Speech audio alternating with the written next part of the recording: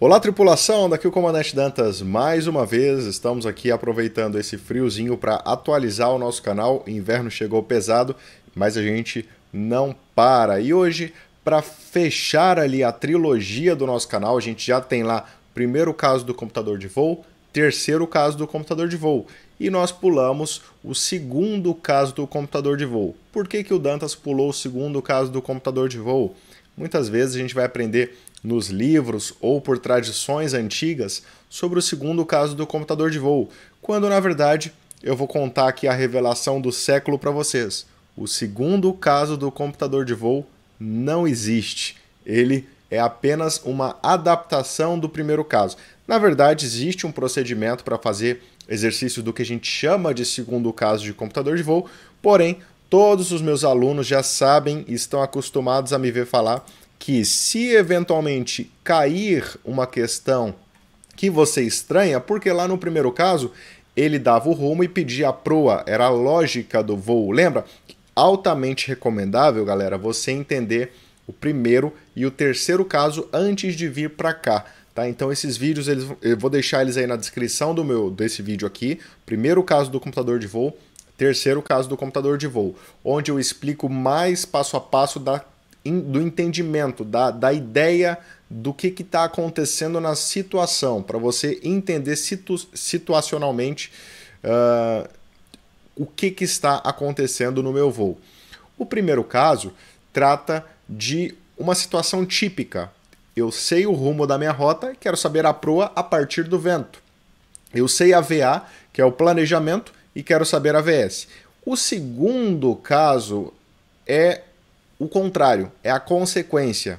É quando eu já tenho a proa, que é o resultado final, e quero saber o rumo, que o resultado planejado.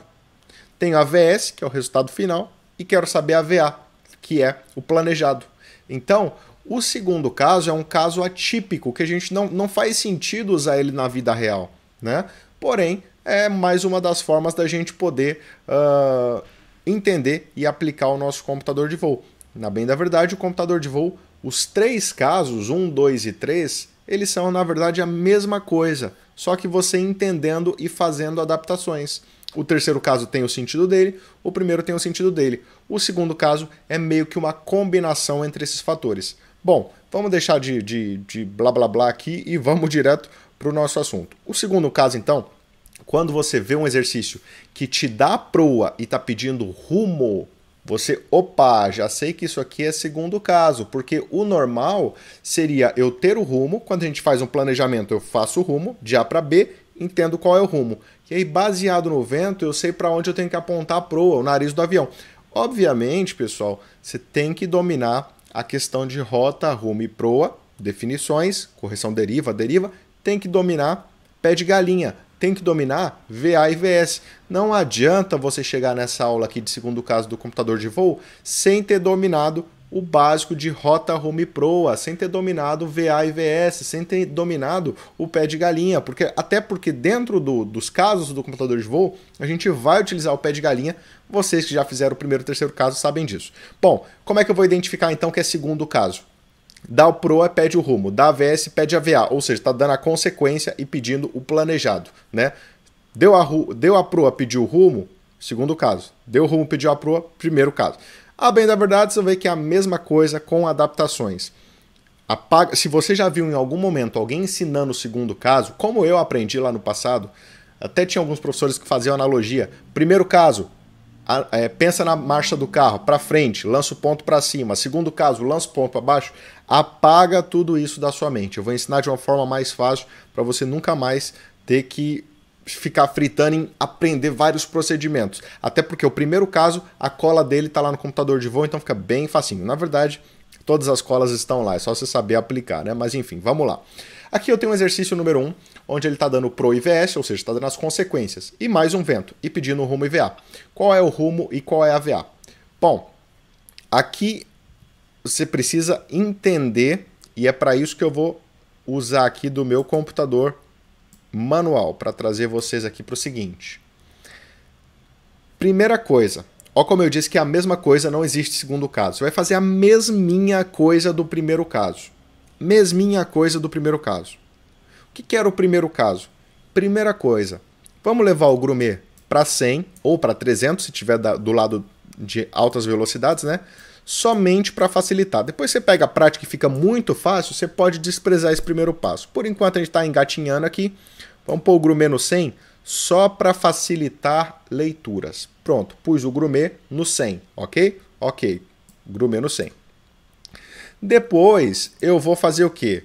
Eu vou lançar o vento. Assim como no primeiro caso, a primeira coisa é lançar o vento do mesmo jeito. Isso já muda da técnica do Dantas para as técnicas convencionais. Vou lançar o vento do mesmo jeito. O que é o mesmo jeito? Eu vou colocar a direção no True Index, que no caso aqui era 120 graus, então vou colocar a direção aqui no índice verdadeiro, 120 graus, ó, trago o 120 alinhadinho aqui com o índice verdadeiro, ok? E com a caneta hidrográfica, que é aquela canetinha que não vai manchar o seu computador de voo, você dá um pinguinho na velocidade do vento acima do grumê. Qual era a velocidade do vento? 25 nós? E é para isso que eu levei o grumê para 100, para ficar fácil. Porque se o grumê está no 100, 00, eu vou marcar lá no 125, que está aqui em cima. Ó. Então aqui, ó, 110, 120, 1, 2, 3, 4, 5. Eu vou dar um pinguinho com a minha canetinha aqui. Pronto. O vento já está plotado no computador de voo e eu não preciso mais mexer no meu computador de voo nesse quesito de vento. Plotei o vento. O que, que eu faria no primeiro caso? Eu giraria aqui para o rumo. Poxa, Dantas, eu não tenho rumo. Não importa, gira para o que você tem. Gira para a proa. Não dá nada, não pega nada. Então eu vou girar para a proa agora. Então, ó, proa 150. Vamos girar aqui para o 150. Girei para o 150? Girei para o 150. Pronto. Bom, agora que está o pulo do gato, a adaptação que você deve fazer no seu computador de voo. Não é nem adaptação, é a mesma coisa, é só ter a sacada diferente. Canecazinha aqui, aproveitando o merchan, a canequinha aqui do, do Comandante Dantas. Ó. Quem quiser, manda no comentário aí que eu sorteio algumas aí para vocês. Canequinha do Comandante Dantas com Airbus aqui do outro lado. Cai super bem para tomar café, ainda mais nesse frio. Bom, é... o que, que a gente fazia no primeiro caso? Olha só, aqui que está o pulo do gato. Presta atenção, vou falar devagarinho. No primeiro caso, eu levava o ponto marcado para a linha da VA. Põe na sua cabeça o seguinte: o ponto sempre será a VA, em qualquer caso que você fizer. O ponto vai na VA, ok? Ok. Lá no primeiro caso, quando eu levava o ponto para VA, o Grumê me mostrava VS. Opa, ponto na VA, a VS aparece no Grumê? Ok, vamos dar uma olhada aqui então. Aqui eu não tenho a VA. O que, que eu vou fazer? Ora, qual que é o pulo do gato? Se eu coloco o ponto na VA e a VS aparece no Grumê e aqui eu tenho a VS, é só fazer o contrário. Eu levo o ponto para VS? Não, porque o ponto é VA. Eu levo o Grumê para VS e aí o ponto aparece na VA. Simples assim. Primeiro caso, eu ia levar o ponto para VA, a VS apareceria no Grumê. Opa, aqui eu tenho é a VS. Então levo o Grumê para VS que o ponto automaticamente vai cair na VA. Eles são sempre firmes. O ponto que você marca é VA e o Grumê é sempre VS. Então, se a minha VS é 200, o que, que eu vou fazer? Vou pegar o Grumê e não o ponto e vou levar para VS. Olha lá. Aqui eu levo para VS, ó, 200 nós. Olha lá, um pouquinho mais. Pronto, no detalhe aqui. Observaram? Entenderam? Porque se fosse um primeiro caso, eu colocaria esse ponto na VA e o resultado apareceria aqui. Então aqui eu coloquei o resultado e a causa saiu lá. Então deu 221 e 2, 222 de VA. Achei a VA, 222 nós. Fácil? Fácil. que mais que o ponto me falava no primeiro caso? Ele também vai falar aqui. Ele me fala a correção de deriva. Para a esquerda menos, para a direita mais. Quanto está dando aqui? Tomado cuidado só com a graduação, tá? Aqui tá de 1 em 1. 1, 2, 3. Então, menos 3 porque está para a esquerda. Ou seja, a correção de deriva é menos 3. Pronto. Se a correção de deriva é menos 3, vamos fazer um pezinho de galinha aqui, ó. Vamos fazer um pezinho de galinha aqui no nosso pente. Proa verdadeira, é o rumo verdadeiro mais ou menos correção de deriva. Primeira fórmula básica. Eu tenho a proa? Eu tenho a proa. A proa é 150. Então 150 é igual ao rumo verdadeiro, correção de deriva menos 3. Joguinho de sinal, 150 mais 3, rumo verdadeiro igual a 153 graus. Opa, igual. Pronto. Rumo verdadeiro 153 e a minha VA 222. Pronto, resolvi. Será que bateu com o gabarito? Vamos dar uma olhadinha no gabarito? Vamos dar uma olhadinha no gabarito. 222 com 153. Perfeito, resolvemos o problema. Ok? Vou deixar aqui o passo a passo para vocês, que está aqui, ó, do 1 ao 5. Vocês podem pausar o vídeo e copiar no caderno se vocês quiserem. Mas é a mesma coisa do primeiro caso. É o que eu quero mostrar para vocês. Só mudou que eu fiz algumas adaptações lógicas. Não é nem mexer, não. É só fazer o raciocínio lógico e entender o que está acontecendo. Tá? Primeiro caso. Segundo caso, são a mesma coisa. Quando você vê proa verdadeira e estiver pedindo rumo, você sabe que é um segundo caso de computador de voo. Vamos fazer mais um? O exercício me dá proa verdadeira 300 graus, direção e velocidade do vento 350 com 30, VS 155 e está pedindo VA e rumo. Mesma coisa. Dou a proa, dou a VS, quero VA e quero rumo. Bom, vamos lá então? Sem maiores delongas? Vamos sem maiores delongas então. Primeira coisa, lançar o vento. É ou não é? Vamos lançar o ventinho aqui, ó. 350 com 30 já manda ele aqui para gente, ó, 350 graus no True Index e lança os 30 nós de força do meu vento. Como? Vou levar ele para uma marca zerada aqui. Pode ser o 200, pode ser o 100, vou levar lá para o 100, só para ficar padrão, tá? Levo o grumê para 100 e daí lança os 30 nós acima. Então 10, 20 30, faz o seu pinguinho. Pronto, aqui está o nosso novo vento lançado no computador de voo. 350 com 30 ok? que mais? Vou girar para Proa agora, 300. Proa 300, segundo passo, girar para Proa, Proa 300. O que, que eu faço? Ponto marcado na VA ou grumê na VS. O que, que eu tenho? Tem a VS, então vou levar o grumê para 155. Então, o grumê eu subo aqui até o 155. Pronto. Achei a VA já de 175. Estão vendo aqui, ó, 175, olha lá. Ó. 175, 176. 175, 176, fiquei entre alfa e bravo, estão vendo? Ó? Deu perto aqui de 173. 175 nós. Ok. Vou matar então pelo rumo. Como que eu faço? Proa verdadeira é o rumo verdadeiro mais ou menos correção de deriva. A proa verdadeira eu já tenho, que é 300 isso é igual ao rumo verdadeiro que eu não tenho. A correção de deriva que está paga aqui para mim agora no computador de voo é de 5, 6, 7, 8, entre 7 e 8. Vamos por 8. Então, mais 8. Joguinho de sinal, 300 menos 8. Opa, fiz besteira aqui. 300 menos 8. Rumo verdadeiro, então, 292. Pronto, resolvi. Matei na alfa aqui. O exercício 2. Fácil desse jeito, pessoal. Vamos fazer mais um de saideira? Vamos fazer mais um de saideira aqui. 173 com 292, ali estava o resultado.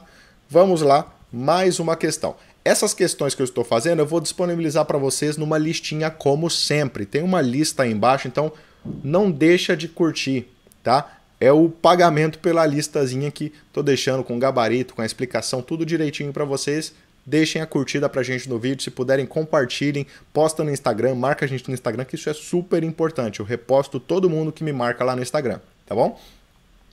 Uh, vale lembrar que, segundo o caso do computador de voo, não é importante para piloto comercial. Piloto comercial usa primeiro e terceiro caso, por isso que eu dei atenção para esses dois. Porém, para piloto privado cai muito segundo o caso do computador de voo. Bom, aqui eu tenho o exercício número 3, onde eu tenho PROA e VA. Olha que sacanagem. Aqui o aluno trava, porque o aluno fala, puxa, e agora, Dantas? Aqui ele deu proa, porém ele deu VA, ou seja, ele deu uma, um resultado final e deu uma, um planejado. E agora o que, que eu faço da vida, pelo amor de Deus? Calma, vai com calma. Mesma coisa, mesmo rolê. Vamos passo a passo? Vamos passo a passo aqui. Vamos lançar o vento. Você entendeu que ele misturou aqui tudo, né? Em vez de dar Pro e VS, ele deu Pro e VA. E agora ele quer saber o rumo e a VS. Poxa, e agora? O que eu faço? Não tem problema. Você vai fazer a sua adaptação do jeito que você quiser. Vamos lá. 75 com 20, a primeira coisa, lançar o vento. 75 com 20, vamos lançar o vento? 75 graus com 20 nós. 20 nós. Vamos levar o grumê para 100 para ficar bonitinho no padrão. Então aqui o grumê no 100 com 20 nós. Para lançar os 20 nós aqui, lancei. Pronto, já temos o nosso novo vento lançado lá. É sossegado. Depois, o que, que eu faço? Já mexi aqui, agora eu trabalho aqui no valor de grau aqui, ó. Proa 245. Hum, então vamos girar aqui para o 245. Vamos lá, ó. 245 no True Index, no índice verdadeiro, se o seu computador tiver em português. Está na mão, pronto. E agora, o que, que eu faço, Dantas? Não é o ponto na linha da VA? Poxa, aqui eu tenho a VA. Então aqui, opa, misturei primeiro e segundo caso. Tá vendo por que eu não gosto de falar aqui primeiro e segundo caso? Porque na verdade é só a mesma coisa, é só você adaptar. Ponto marcado na linha da VA ou então grumê na VS, a seu critério. No caso aqui o que eu tenho é a VA. Então eu tenho que levar esse ponto que eu marquei lá para o 120. Vamos levar para lá, ó. Ponto marcado na VA. A VS vai aparecer no grumê. 140 de VS. 140 de VS. Já matei a pau a minha questão, porque não tem outro 140 aqui. Porém, a gente não é bobo, a gente vai fazer aqui então um pezinho de galinha para resolver. Proa verdadeira é o rumo verdadeiro, mais ou menos correção de deriva. 245 igual ao rumo verdadeiro. Qual é a correção de deriva aqui? Tá dando menos 1 ou menos 2, menos 1 ou menos 2, vamos pôr menos 2, rumo verdadeiro então, igual a 245. Joguinho de sinal, menos 2 atravessou para o lado do 245, virou mais. Então o rumo verdadeiro é 247. 247, 246, tá na mão na Charlie e é isto, pessoal. Sem erro, é tranquilo, é só ter calma. Põe no colo devagarinho, põe no colo ali, resolve sem problema que você vai resolver tudo sobre computador de voo se você abrir a mente e entender por completo. Puta, Dantas, e aqui caiu um exercício que em vez de pro verdadeiro ele deu pro a bússola. E agora? Ou pediu rumo bússola. E agora? Calma, vai no pé de galinha, vai destrinchando. Se ele deu pro bússola, com certeza ele deu desvio de bússola, deu declinação magnética, porque você tem que transformar esses valores em verdadeiros. Afinal de contas, o nosso vento, e vale para regulamentos de meteorologia, sempre é em relação ao norte verdadeiro nas suas informações escritas. Se o vento é verdadeiro, eu tenho que misturar isso com uma proa verdadeira ou com um rumo verdadeiro. Tem que trabalhar proa e rumo verdadeiro. O exercício me deu proa magnética? Faça a conversão de proa magnética para verdadeira antes de começar a resolver. Por isso que precisa dominar o pé de galinha. Entendeu? Vou deixar uma listinha para vocês aí embaixo. Deixa a curtida, peço encarecidamente que se for importante para você, se ajudou você, deixa a curtida, Peça mais conteúdo à vontade, PP, PC, o que vocês preferirem para eu saber como é que meu público tá de preferência aí. Não deixa de, de, de, de, deixar o like, de deixar a curtida, de compartilhar e de preferência de marcar no Instagram, que é minha rede social mais ativa. Eu compartilho todo mundo que me marcar lá. De preferência, no momento que eu não esteja fazendo careta. Se eu estiver fazendo a careta aqui, eu, eu vou e te bloqueio lá, tá bom? Brincadeiras à parte, pessoal. Essa foi nossa aula de segundo caso de computador de voo. Vou deixar anexado aqui embaixo tanto a aula de primeiro caso, de terceiro caso, aqui do meu canal. Todas elas têm uma listinha. Essa vai ficar com uma listinha também. Vou deixar o link da listinha aí abaixo. Só você procurar, exercita, treina. Bons estudos. Daqui o Comandante Dantas na escuta.